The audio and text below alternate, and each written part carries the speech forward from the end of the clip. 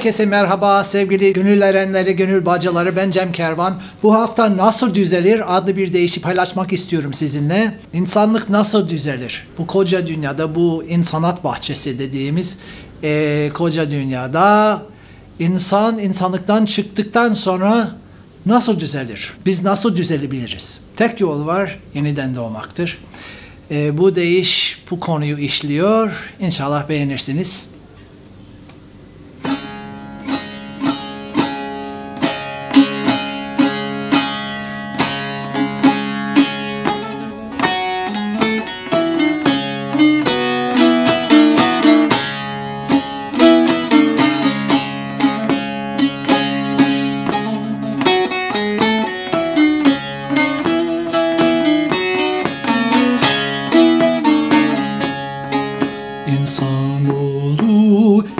İnsan böyle olunca insanat bahçesi nasıl düzelir? Bütün doğruluklar eğri olunca insanların içi nasıl düzelir? Dünyanın rengi çok kara Cümleten kaybolduk pislikteyiz boyu. İnsanlıktan çıktı insanlar soyu. Ne eyleyelim ki insan düzelir. İnsanlıktan çıktık insanlar soyu.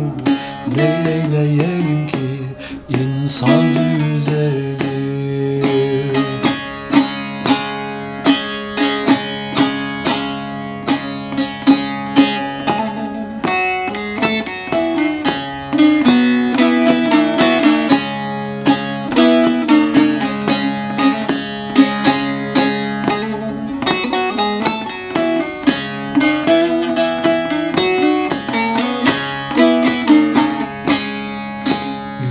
Yüreklerimiz yufka olacaktı. Oysa yüreğimiz taş olup çıktı. Tek çaresi onu değiştirmekti. Değiştiren var ki insan düzelir. Kervan şahi eyledi bizi. Temizledi sildi sicilimizi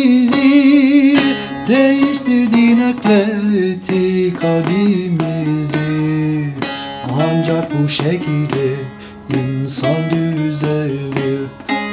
Değiştirdi nakletti kalbimizi. Ancak bu şekilde insan düzelir.